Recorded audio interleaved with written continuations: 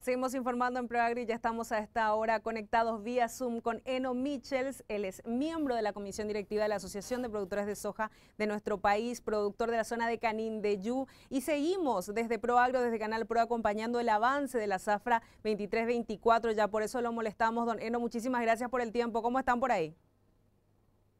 Buenas tardes, buenas tardes la audiencia. Estamos acá en el campo. Yo estaba en ruta manejando y ahí paré y entré acá en medio en una parcela para mostrar un poco donde tenemos nuestras mil soja recién germinada y al otro lado tenemos donde que se cosechó trigo y por falta de lluvia que tenemos en el momento acá todavía no se sembró. Muchísimas gracias por el tiempo, por la predisposición siempre para la teleaudiencia de Canal Pro. Don Eno, cuéntenos un poco justamente eh, por su zona, se estaba realizando el acto oficial de arranque de la zafra. ¿Qué tanto avanzaron eh, hasta ahora? Ya nos mostraba un poco en las imágenes, eh, si ya tiene algún cálculo en porcentaje, por ejemplo, del área de siembra, si ya terminaron, por ahí por Canin de Yu específicamente. Bueno, nosotros de la APS hicimos el primero de septiembre la apertura de siembra en Nueva Esperanza, Canindeyú, en mi, mi propiedad.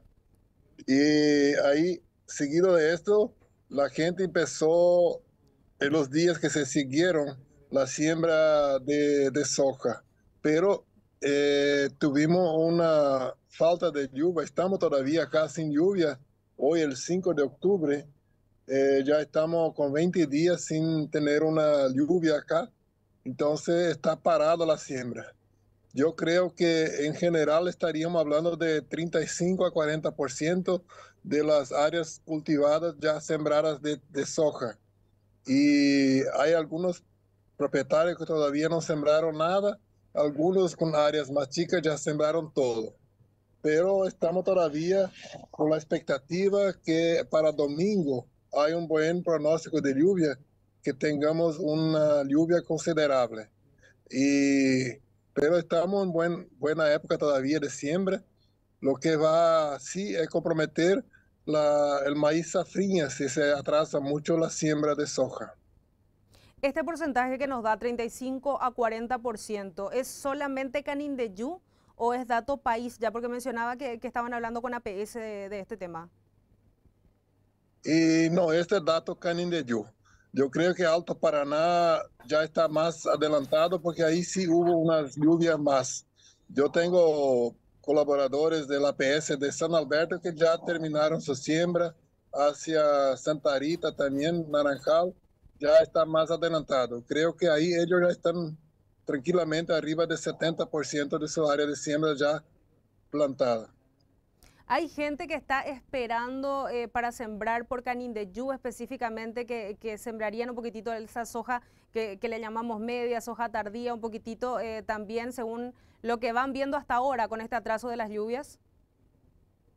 Y sí, creo que la gran mayoría de los productores ya están con la, semilla en su galpón y ahora ya independiente si es uh, tempranera, ciclo más largo, sí o sí van a estar sembrando lo que tienen, ¿verdad? Porque no hay más forma de cambiar por otros materiales. Sí hay que manejar la población por metro, por hectárea por, de, granos. Si uno estaba en septiembre, tenía una, una siembra de 14, 15 semillas de soja por metro, ahora tiene que bajar a, a 10, 11 semillas para tener menos plantas porque naturalmente la soja va a tener un tamaño mayor, va a crecer más y puede tener acamamiento que decimos, la planta no aguanta en, pie y se, se, se, acuesta, se acama, como nosotros decimos, Entonces, ahí sí va a afectar la producción. Entonces, el productor tiene que ahora estar manejando la cantidad de plantas por hectárea. Perfecto, Neno, pero por lo menos eh, nos da el dato de que semillas hay disponibles, o sea, insumos y semillas hay entonces eh, suficiente ahora para poder trabajar también en esa zona del país.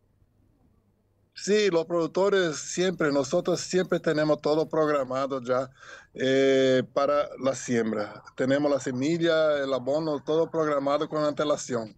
Y suele pasar eso de algún retraso, pero estamos en buena época todavía y como dicen los productores acá de la zona, eh, mejor que no haya llovido que pasar un, vendaval como pasó Santa Rita. Entonces, es muy distinto tener no llover y pasar una lluvia con, con viento fuerte que causa más daños también, ¿verdad?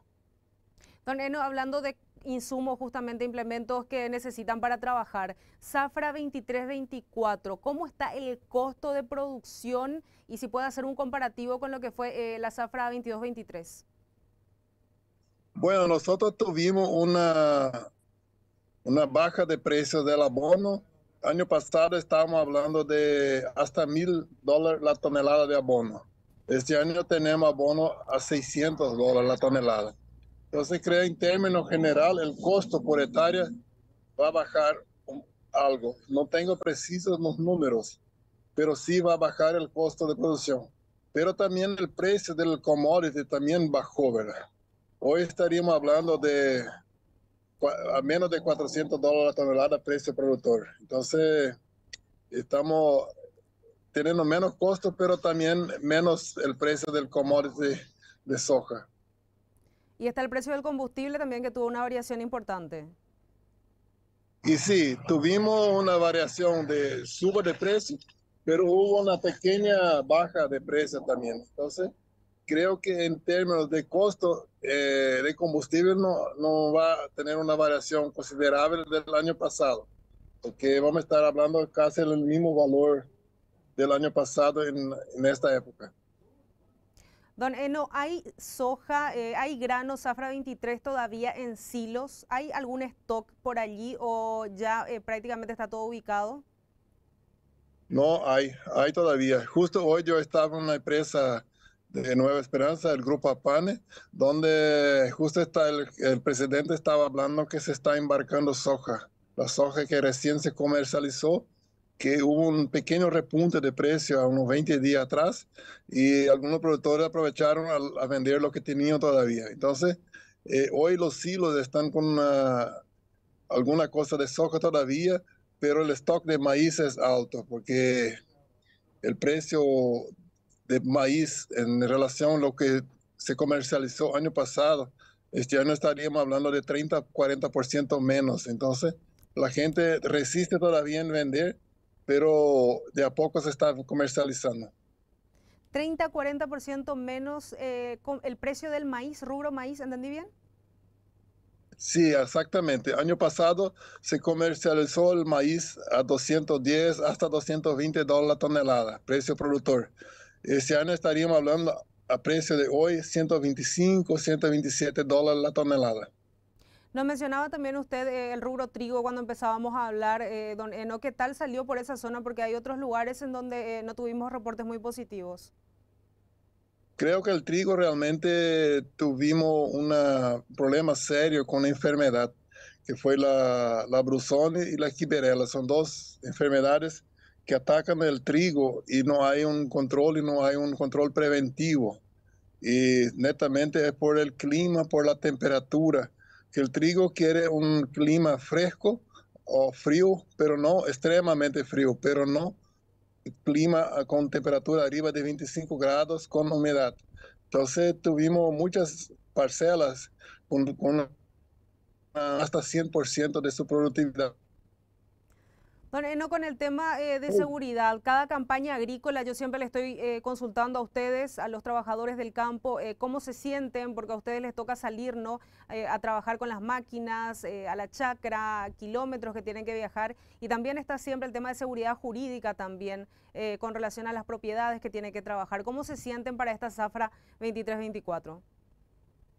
Bueno, nosotros en nuestra región, acá en Yu, no tenemos ningún reporte de inseguridad de que haya algún problema con productores. Y creo que ya es un reflejo del nuevo gobierno que hay una confianza instalada también. Entonces, estamos muy atentos como gremio, pero no tenemos, no hemos tenido ningún reporte de problemas. Puede ser algunos problemas puntuales, pero no de invasiones. Buenas noticias entonces desde esa zona del país. Eh, Donero, muchísimas gracias por el tiempo. Nosotros seguimos pendientes del avance de esta zafra de soja principal, rubro económico para nuestro país. Eh, ya en marcha la zafra 2324. Gracias a ustedes. Siempre cuando creen interesante podemos estar hablando, porque es importante que nosotros del campo también le proveemos las informaciones del momento, cómo estamos, ¿verdad? Entonces, como suelo decir siempre, nosotros los productores tenemos nuestra empresa a cielo abierto. Nuestra empresa es un galpón sin techo. Y también eh, el productor es muy confiante. Él siempre cree que mañana es mejor que hoy y pasado mañana mejor que mañana. Entonces siempre estamos en la apuesta de seguir trabajando, aún con adversidades de clima, de cualquier que sea, pero siempre, siempre seguimos trabajando y haciendo bien lo que sabemos hacer. Muchísimas gracias, don Eno. Saludos a todos los productores, agricultores del departamento de Canindeyú. Éxito para esta zafra que ya está en marcha. Eno Michels con nosotros, él es productor de la zona de Canindeyú, específicamente él está Nueva Esperanza, pero también es miembro de la comisión directiva de la Asociación de Productores de Soja, Cereales y Oleaginosas APS de nuestro país.